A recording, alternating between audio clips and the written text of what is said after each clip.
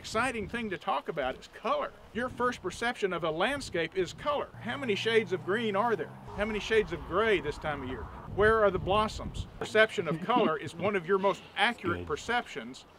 All of a sudden, you've got a different way to look at that whole landscape. We are the science. It's not the books and the tools and the maps. We are the scientists. We're doing, we're making that stuff. We're the users of those tools. And I'm talking to the kids. I'm not talking to the old farts.